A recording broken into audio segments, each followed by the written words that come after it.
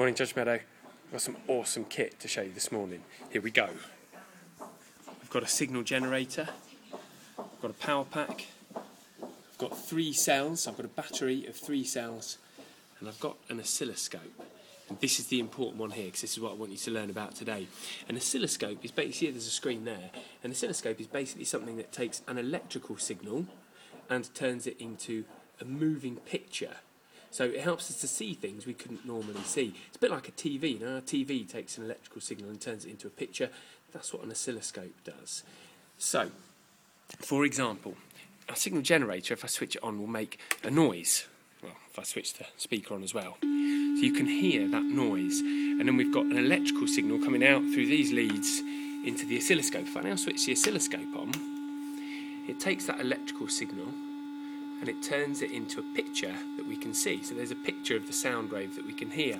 And then you can, if I change the sound wave, you will see that the picture changes. So, for example, if I make it louder, you can see the amplitude gets bigger. If I turn the volume down, you can see the amplitude gets smaller. Or, if I turn the pitch up and make it higher pitched, you can see the frequency gets higher and the wavelength smaller. Or if I turn the pitch down, you can barely hear that, I know, because it's such a low pitch, but you can see the wavelength gets bigger, the frequency lower.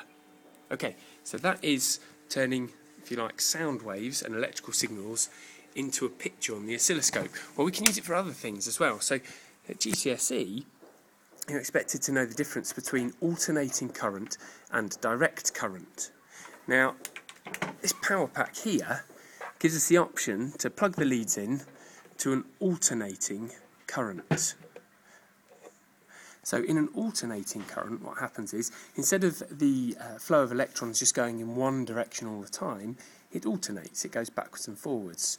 So if I plug those two leads into the power pack in the oscilloscope, and then switch the power pack on as an alternating current, and then switch on our oscilloscope,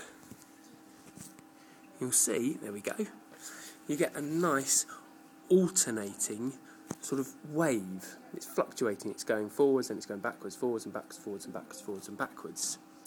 And then to contrast that, switch that off, switch our power pack off, I can plug in our leads to the three cells. Now our cells will provide a direct current, so the electrons will only flow in one direction around the circuit. And this time, if I switch on the oscilloscope, you will see a flat trace. There we go. So we can see that there is um, movement of electrons because it's above the x-axis here, but you can also see that it is not fluctuating, fluctuating, sorry, like the alternating current is just going in one direction. one direction. So anyway, this is the difference between a direct current, the sort of current we get from cells, and an alternating current, which is the sort of current that we get through our mains electricity. Right, it's Mr. Roll from the oscilloscope signing off.